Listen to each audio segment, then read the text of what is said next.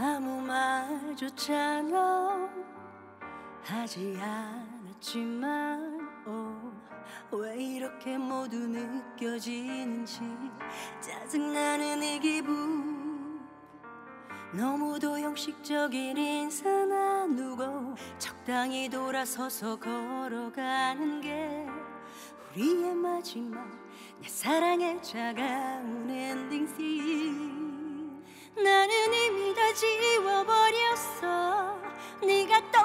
하기 전에 늘 머물던 곳 함께 하던 모든